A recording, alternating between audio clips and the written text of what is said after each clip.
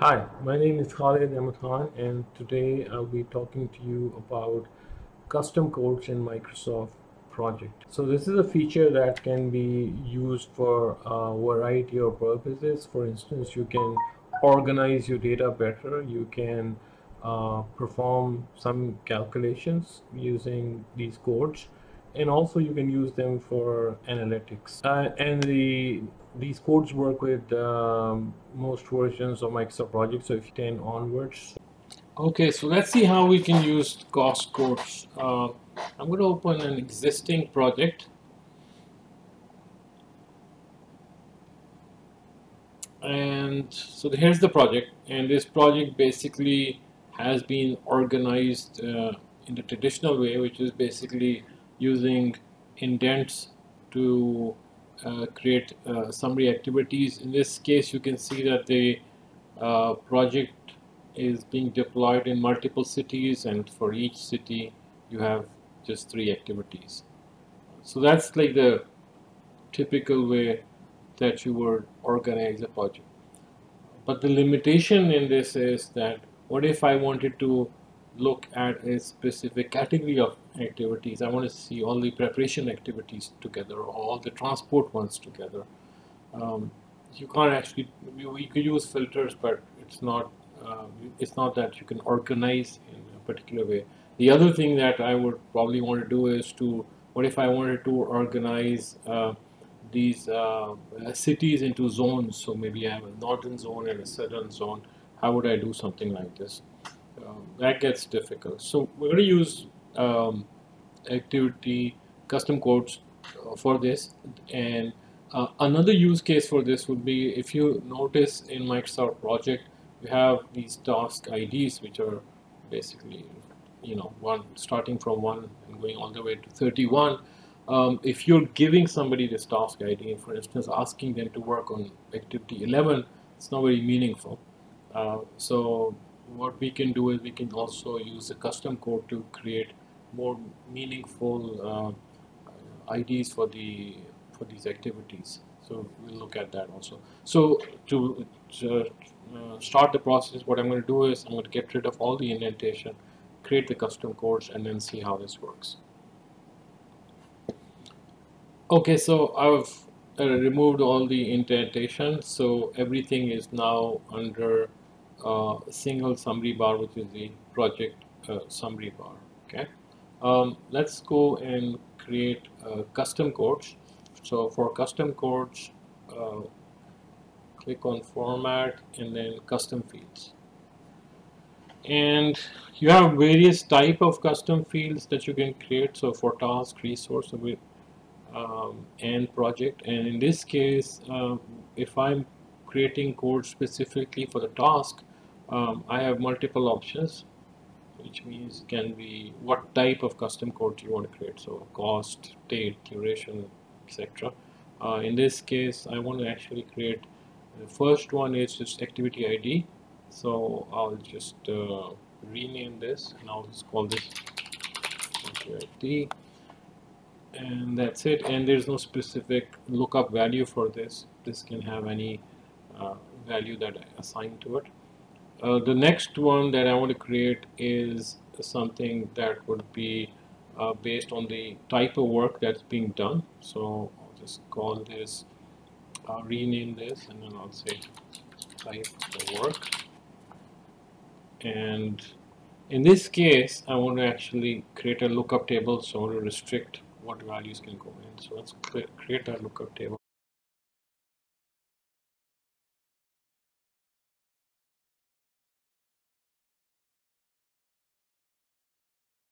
Project management for the remaining activities. So that's my second thing.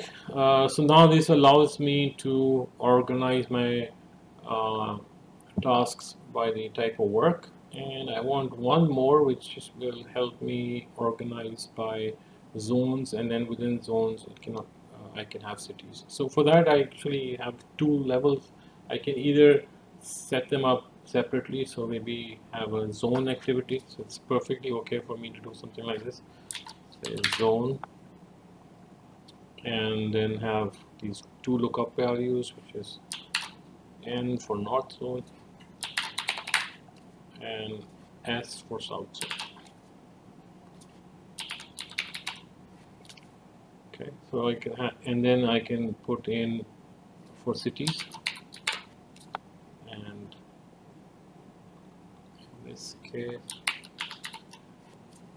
have the city.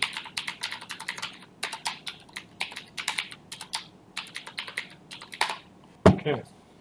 So that's done. Um, that's one way of uh, uh, labeling each task. Uh, there is another way of doing it um, which is if you already have a hierarchy in mind, so you can actually uh, create a outline code instead of just simple code and I'll tell you how that is different. So let's go here and say outline code and I'll say this as um, zone and city.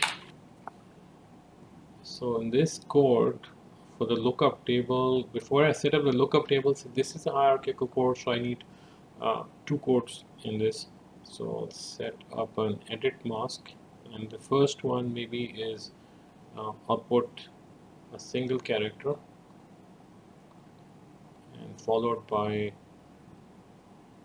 let's say three characters. Okay, so that's the mask that I'm using. So any and I'll show you what I mean So I say this is north zone and within the north zone I want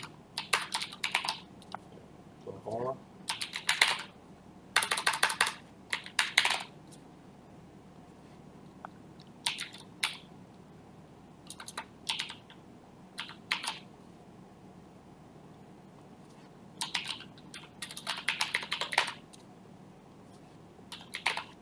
Okay, so the red basically is telling me that these uh, this length is not correct. Uh, I, I said that length should only be 1 for the first part of the code. So to fix that, basically this is how I fix it. So now it's okay. I have a length of 3 for the cities and 1 for the zones. So here again. And the advantage here is that uh, you don't have somebody doesn't need to have a guess of which cities in which zone. You know, this code automatically tells them what it is. So let's go and finish this up. And now let's come and assign these codes. So the first one is the ID. The second one that we created was for the type of work. And the third one that we created was zone. And we had city and then we had an outline code for zone and city. Okay. So how do we use this? Um, for the activity ID is pretty straightforward. You just need to type in anything. So you just say if I was a 100 okay. And so you just keep going and type in any course that you want and that will give you a specific um, way of uh, identifying this uh, activity. For the type of work, um, just do a, I'll use the drop down. Uh, so this is a prep activity, I put in prep, transport. Okay, and then again for the zone, uh, I can select the zone. Uh, so this is and so finally for cities actually set that up. And uh, so I'm going to do the same thing here except that you see that when I'm doing the zone this is already organized within the correct zone. So if I select the code I'm I know I'm in the right zone. So so let's get this done Okay, so everything's set up now. So I've uh, assigned all the codes for type of work, for zone, for city, and zone and city. Um, and I view, and then let's say I want to organize by so clear anything that's done already, and then say I want to organ new group by, and I want to group this by uh, type of work. So just click on type of work, was here, and then the color that you want. This. There you go. So we have everything now organized by type of work. So installation, project management, preparation, and transport. Um, I can go back and another organization and say instead of this I want this to be organized by city so let's do that select the city code apply there you go. Now it's organized by city. Okay. Um, also uh, since okay let's try uh, to do a multi-level uh, grouping. So more group and this time create a new one which is Z and C so zone and city so I'll say group by first let's put, put the zone there. And then let's put the city. And go. Save. And apply. Now it's zone and city so that organization is there. And remember we also created an outline code so the difference here is like when you're using two codes you could make a mistake and you know if you somebody's not sure if this city is supposed to be in south or north you could actually make a mistake and end up having some activities. So here I just updated and you can see Peshawar has gone to the wrong place. But if I had this if you, this code is more reliable so I'm going to use this code so the outline code. So say you say zone city.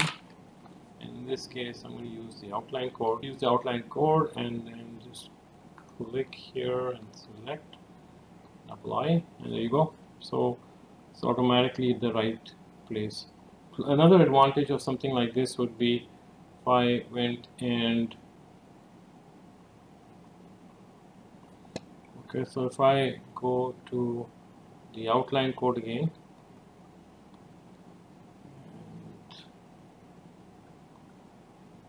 go to the lookup table I can move this up except for Multan in the north zone. Close. Uh, and you see that it's automatically gone into the proper location. So it makes it easier. So these hierarchical outline codes make make it easier to organize something that's multi-level. Okay, so uh, now let's look at how we can use uh, these fields, custom fields, and resources so let's go to resources and um, format and I want to actually create a resource code uh, which helps me calculate the cost after tax. So the, so let's click on resource click on cost the type of field I need and click on formula. So the formula would be cost multiplied by 15% or 20% 1.2 okay so that's done. Now I, I need to just go and click on the resource sheet